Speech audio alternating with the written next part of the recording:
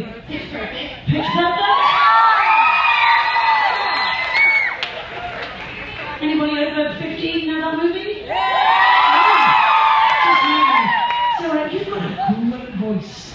And I mean, not only have you got a great voice, it's hard to sing, but it's hard to do all that with the cup as well. How long did it take you to practice and learn that? Mm, probably like a week. A whole week. It's amazing. So, Kaz, how old you are? 11. Oh. Eleven. And who are you traveling with? Um, mostly on my family. All the family. Where's the family? Oh, Look all sitting in different places. So, whereabouts in Texas are you from? Midland. Midland, Texas. So, you're in. What, what, you- what grade are you in? Fifth. Okay. So, when you when you grow up, you get big, what are you going to be? Veterinarian. Oh, I love you even more. You should keep to it. And then you can sing to the animals. You can be like Dr.